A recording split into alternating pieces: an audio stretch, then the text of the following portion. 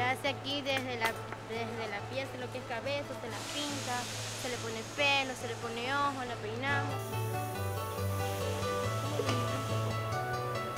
Entra al local y dice, ¿y quién hizo esto? Y tú le dices, yo lo hice. Entonces el niño sí se sorprende y dice, pero en serio.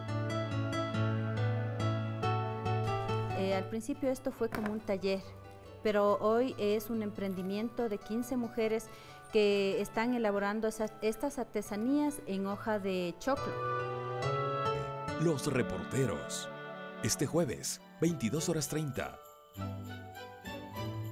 Ecuador TV. Felices fiestas.